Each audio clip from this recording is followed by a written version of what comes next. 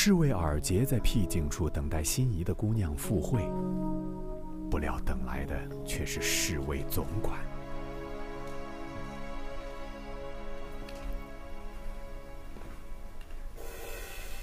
干嘛呢？总管，你来这儿干什么？等谁呢？等着送情书吧。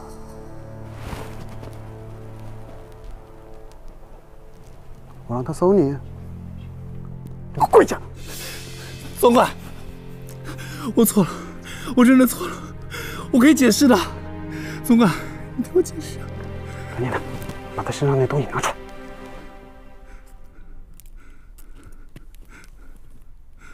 二姐，把东西拿出来。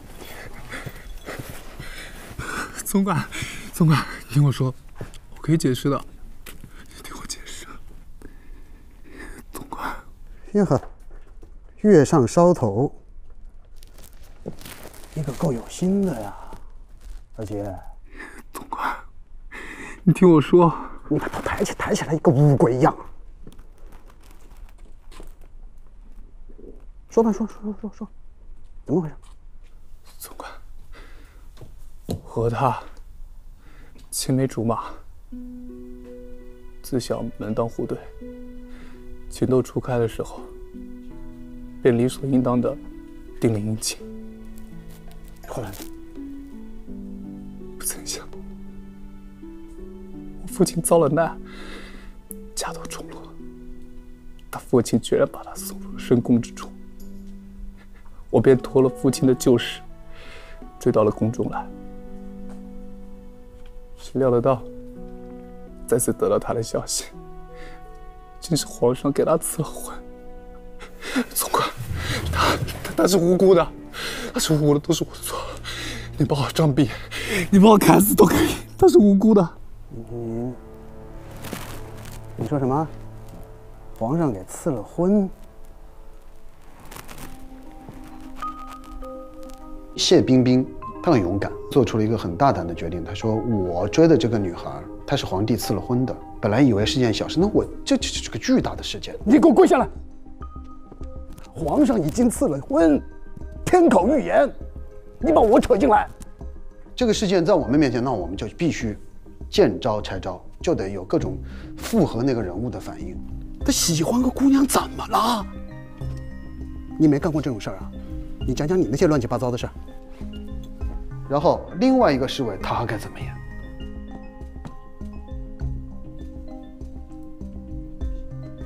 从前的事情，你应该知道的。可是你要知道，这是宫里啊，人言可畏啊，几千双眼睛盯着你，你知道那种爱，你是没办法说出来的。张天宇很稳，而且眼神坚定。行了，交给你了，交给你了。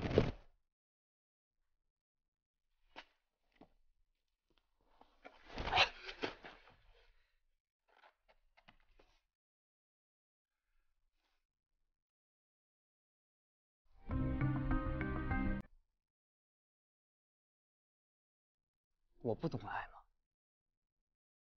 那种每天早上一见面。就一辈子也不想分开那种爱，我不懂吗？